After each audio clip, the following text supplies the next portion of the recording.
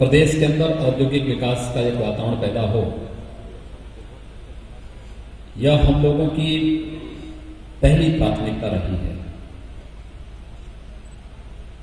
हम सबका मानना है कि विकास और सुशासन इसका कोई विकल्प नहीं हो सकता। लेकिन विकास और सुशासन के लिए उस प्रकार की एक वातावरण बनाए जाने की आवश्यकता है।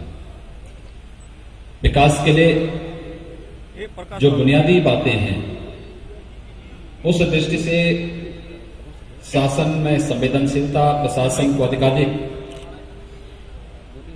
सक्रिय होकर के संवेदनशील होना होगा, इस बात को लेकर के प्रारंभ से ही हम लोगों का एक प्रयास रहा है। उत्तर प्रदेश के अंदर आज से डेढ़ वर्ष पहले इस प्रकार का वातावरण था। हर व्यक्ति इस बारे में जानता है।